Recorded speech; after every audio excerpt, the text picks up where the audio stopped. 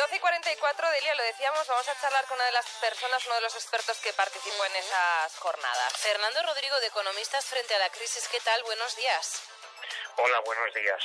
Bueno, estamos hablando del sector de la automoción, un sector inmerso en un proceso imparable de cambio de, modelo y, por varias razones, ¿no?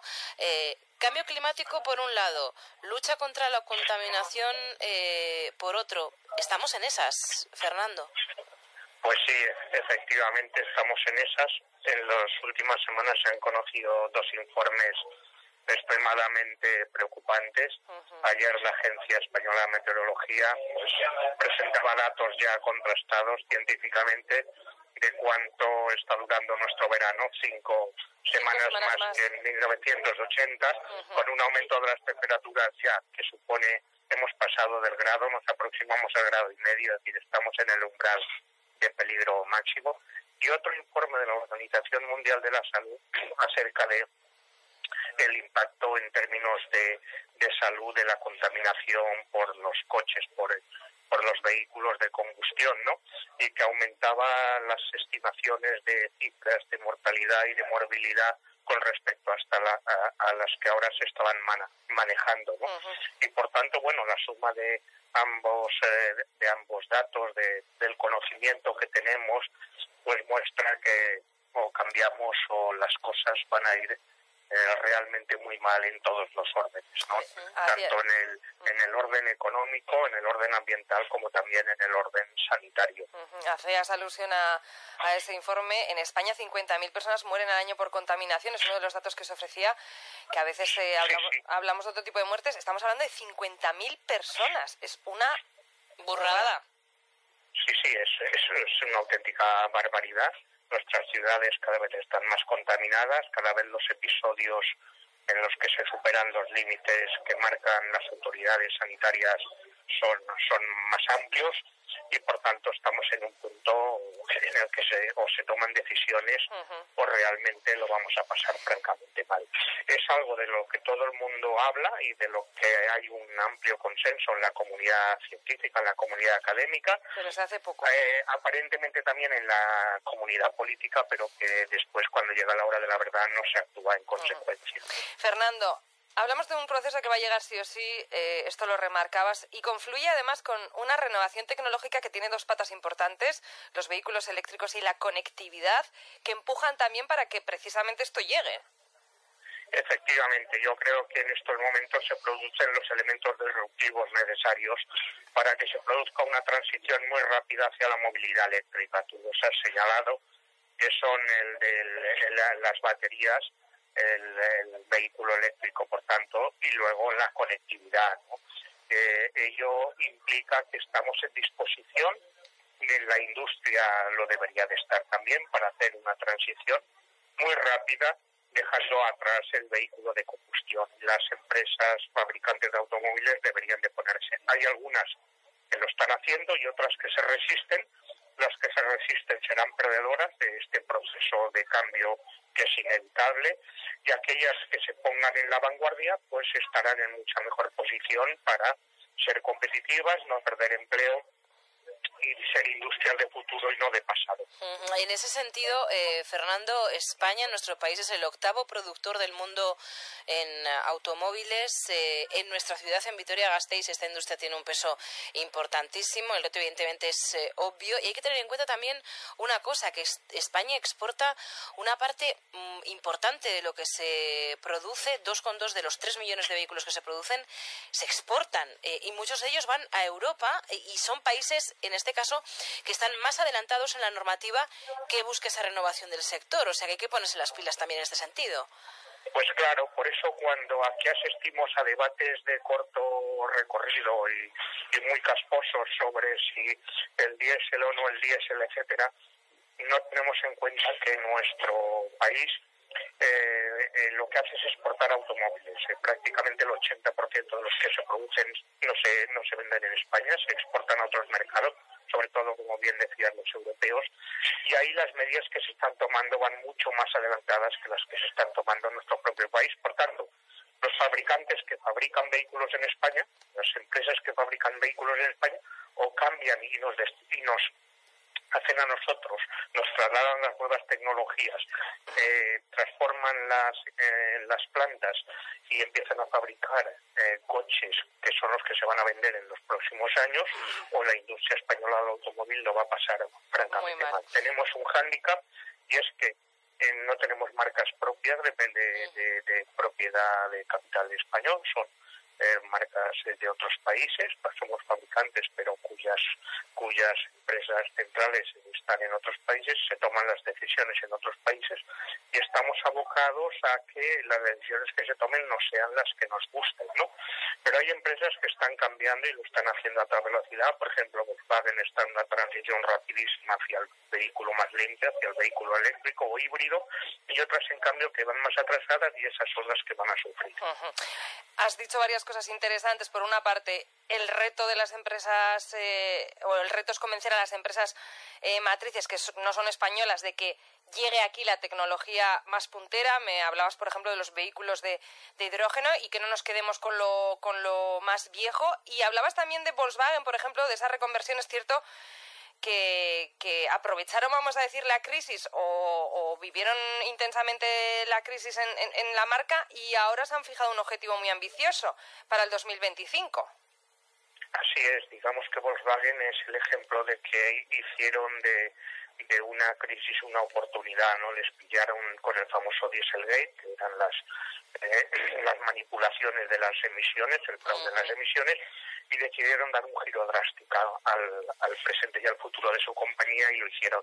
Yo quisiera también apuntar otra cosa, no solo somos fabricantes directos de automóviles, sino que tenemos una industria auxiliar potentísima y aún emplea más gente que las mismas plantas fabricantes de automóviles. Pasa aquí en nuestro territorio. claro, estas, estas empresas que son auxiliares de componentes deben de también inmediatamente empezar a hacer su transformación tecnológica para empezar a especializarse en, en, los componentes para el nuevo coche eléctrico. ¿no? Hay que tener en cuenta que uno de los cambios que introduce el coche eléctrico es que tiene muchas menos piezas, muchas menos componentes que un coche de combustión y, en donde la electrónica juega un papel mucho mayor. Por tanto, ahí hay que hacer una transformación porque este país tiene eh, más de 100.000 empleos en la industria auxiliar, ¿no? Y hay que salvarlos, hay que mantenerlos porque constituyen una parte del nervio central de la industria española. Em, Fernando, una de las alternativas eh, actuales y que va creciendo es precisamente la movilidad eléctrica, los vehículos eléctricos, aunque eh, esto también tiene sus eh, detractores, ¿no? Hablan, entre otras cosas, por ejemplo, de qué se va a hacer con las baterías gastadas, cómo reciclarlas, em, el hecho de que esas baterías no se estén fabricando aquí, sino que se estén fabricando en otros lugares como en Asia. ¿Cómo lo ves? Pues efectivamente, vamos a ver, el coche eléctrico resuelve algunos problemas, básicamente el de las emisiones y el de la contaminación, pero no resuelve todos, ¿no? Todo tiene sus pros y sus contras y efectivamente eh, vamos a tener que afrontar no solamente el, el problema que decías, de, de, los, de los materiales, del reciclaje, etcétera. Vamos a tener que resolver también el problema de que el aumento de de consumo eléctrico para cargar las baterías va a tenerse que hacer con energías renovables, porque si lo hacemos con energías fósiles no estamos arreglando nada. Por tanto, hay que aumentar la potencia instalada cada año en energías renovables. En segundo lugar, hay que resolver el problema de los postes de recarga. España tiene muy pocos postes de recarga instalados. Tenemos que ir a una, una cifra de 100.000 postes de recarga públicos en, los próximos 3, 4, 5 años si queremos que la gente empiece a, cambiar su vehículo de manera rápida para poder usarlo en todas las eh, circunstancias y necesidades. Y luego, efectivamente, va a tener que surgir una industria del reciclado eh, de todos estos componentes para no ser un, no generar un problema de depredación de materias primas y por lo tanto de agotamiento. En definitiva, son muchos, son muchos los problemas, incluyendo el de que Europa, no España, Europa no fabrica baterías eléctricas, es China, es Corea del Sur, y Europa tiene, está frente al dilema de no perder el paso en la fabricación de baterías eléctricas, que es la componente central del coche eléctrico, del vehículo eléctrico. Fernando, ¿cómo lo hacemos? En Vitoria son muchas las familias que dependen del sector, lo decíamos, eh, se, va se, van a ver abocadas, por decirlo de alguna manera, a esa transición y precisamente en esas jornadas organizadas por Ecoverdeac eh, se hablaba de buscar una transición justa. ¿Cómo es una transición justa? Bueno, una transición justa es una que tiene en cuenta eh, los efectos sociales, los efectos laborales del cambio y que se adelanta a ellos, los eh, preveniendo, previniéndolos y eh, tomando medidas para que no resulten personas, trabajadores perdedores de la transición del cambio, ¿no? Y eso tiene muchas medidas. La primera de todas es intentar que las industrias asuman el cambio se sitúen en la vanguardia y por lo tanto no pierdan empleo, sino que incluso puedan ganar capacidad, eh, competitividad y, posicionamiento. ¿no? La segunda es eh, formando a los trabajadores en lo que serán las nuevas oportunidades que van a surgir de todo este cambio de modelo hacia una movilidad eléctrica eh, conectada y compartida y que va a tener en el sector servicios unas oportunidades de desarrollo, porque todo esto hay que, hay que atenderlo, hay que, hay que desarrollarlo, va a tener unas oportunidades de empleo importantes. Ah, y luego, obviamente, la movilidad eléctrica tiene que ir acompañada de una revolución también en lo que es el sistema integral de movilidad. Además de electrificarla, hay que desarrollar mucho más el transporte público, hay que desarrollar mucho más el ferrocarril, llevar las mercancías de la carretera al ferrocarril, es decir, tiene que haber un plan que acompañe esta transformación, este cambio de modelo de una movilidad insostenible hacia una movilidad sostenible ambientalmente y saludable desde el punto de vista sanitario y eso pues, ofrecerá oportunidades de empleo, oportunidades de empleo para las que hay que preparar a, los, a las personas para estar en disposición de eh, llevarlas adelante. ¿no?